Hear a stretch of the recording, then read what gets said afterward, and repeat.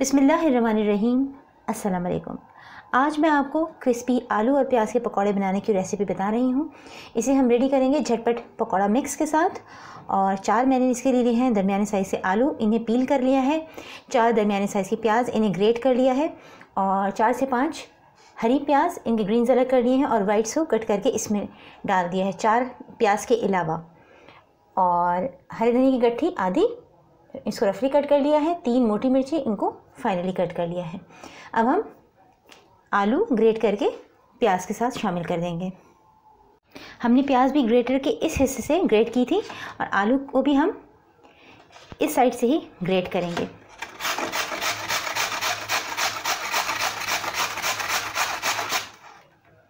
ये देखें, इस तरह बारीक बारीक हो जाएँगे प्याज के साथ प्याज भी ऐसी हो गई थी, आलू भी इसी तरह हो जाएँगे। सारे आलू इसी तरह ग्रेट करके हम प्याज के साथ शामिल कर देंगे।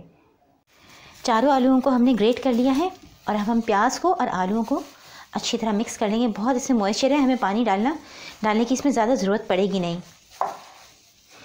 इसको अच्छी तरह मिक्स कर लेते हैं। आलू और प्याज को अच्छी तरह मिक्स कर दिया है। अब इसमें हरी मिर्ची शामिल कर देंगे। हरी मिर्चों को आप अकॉर्डिंग टू टेस्ट कम या ज़्यादा कर सकती हैं। हरा धनिया और हरी प्याज के ग्रेन्स ये इसमें शामिल करके इसको भी अच्छी तरह मिक्स कर देंगे।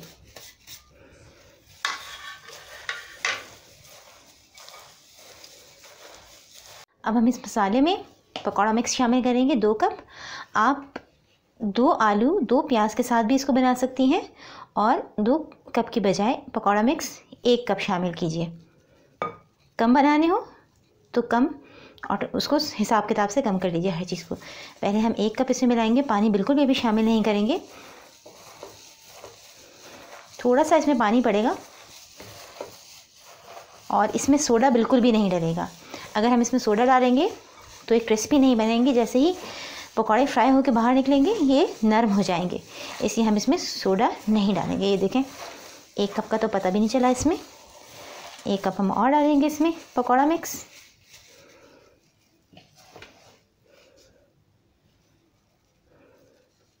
बस इतना काफ़ी है। अब इसे घोल लेंगे थोड़ा सा बिल्कुल उसमें पानी शामिल करेंगे। One to two tablespoon बस। अब इसे घोल लेंगे।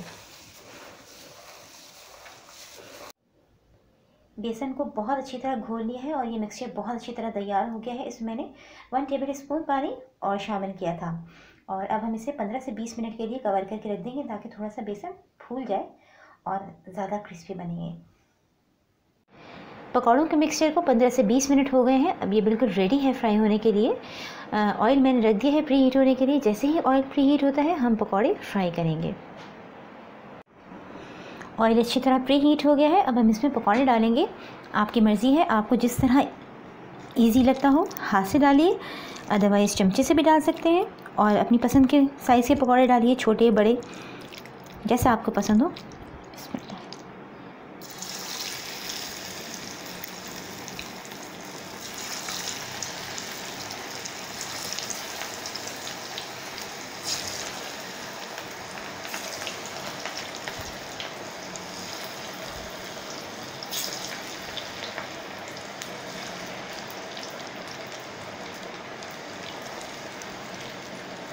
ओवर क्राउड नहीं करना पकौड़ों को अदरवाइज़ ये चिपक जाएँगे एक दूसरे के साथ। बस।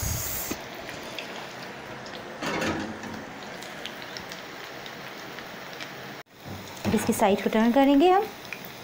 एक साइड से स्टेबल हो जाएँगे तो हम टर्न करना शुरू करेंगे, क्योंकि अगर फ़ौरन ही इसको टर्न करना शुरू कर दें तो चिपक जाते हैं नीचे बॉटम में। और एक साइड से अगर स्टेबल हो जाए, फिर आप टर्न करें तो कभी भी नहीं चिपकेंगे। कढ़ाई चाहे नॉन स्टिक हो, आयरन की हो, सिल्वर की हो। अब मुस्तकिल इसको हम पलटते रहेंगे ताकि सब तरफ़ से इवनली फ्राई हो। अब किसी तरफ़ भी इसको छोड़ना नहीं है।